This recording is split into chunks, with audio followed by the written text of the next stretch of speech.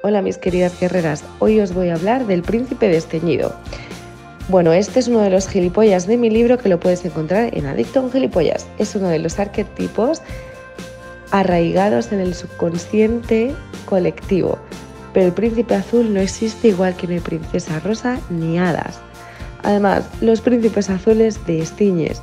Las mujeres realistas no buscan cuentos con final feliz, solo quieren ser felices sin tanto cuento, que no es lo mismo. Radiografía del príncipe desteñido es un hombre muy atractivo y detallista que en las formas va de auténtico caballero, pero no en el contenido.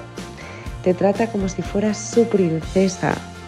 ¿Cuánto daño ha hecho Disney? Pero en realidad es un narcisista que solo se quiere a sí mismo y no le importas. Piensa que es muy educado, inteligente, culto, elegante, con modales y que habla muy bien.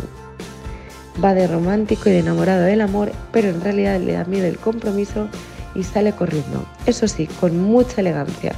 Es un perfeccionista patológico, se cree tan ideal que ninguna mujer es lo suficiente buena para él.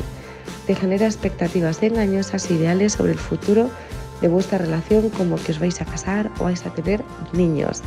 Cree que tiene que rescatar una damisela en apuro, que eres tú. En la relación de pareja quiere ejercer el rol de salvador con el tiempo saca lo peor de ti y te convierte en una bruja del cuento.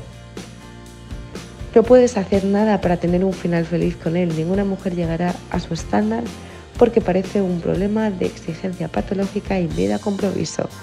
Trabaja los mitos azules, el síndrome del príncipe azul te separa de un hombre real y sano. Puedes leer más en mi libro. Si necesitas ayuda, contacta en info.laraferreiro.com o llama o manda un WhatsApp al más 31 611 04 26 21.